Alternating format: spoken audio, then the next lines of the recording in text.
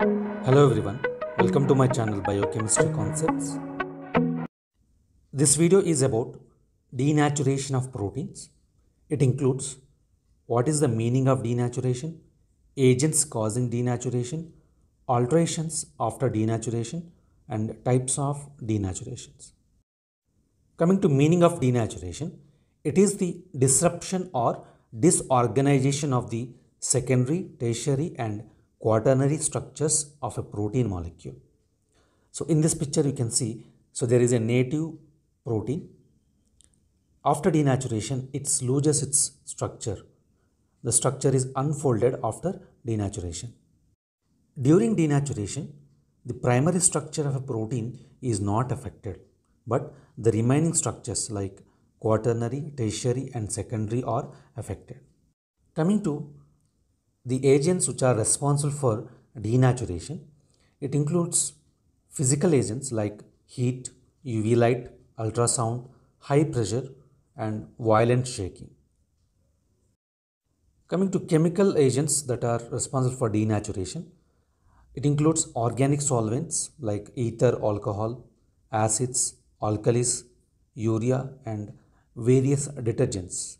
For example, sodium dodecyl sulfate.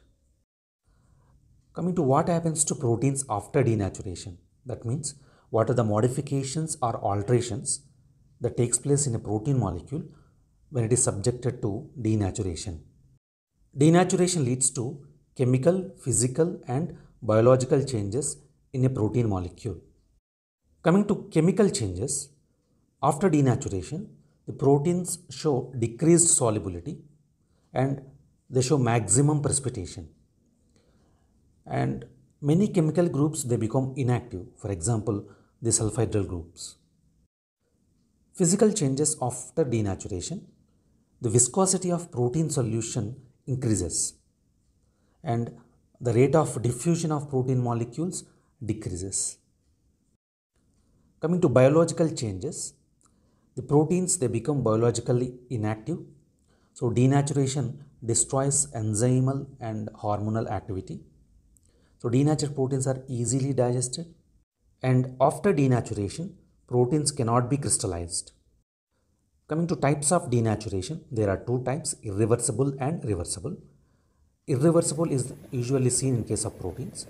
For example, when you boil a raw egg, it leads to irreversible denaturation. Another example is omelette can be prepared from egg, but the reversal is not possible. Coming to second type, reversible denaturation. Sometimes denaturation is reversible when a denaturating agent is removed. For example, hemoglobin undergoes denaturation in the presence of salicylate.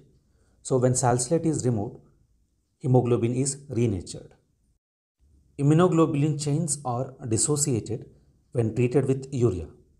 So when this urea is removed by dialysis, the subunits are reassociated and biological activity of immunoglobulin is regained.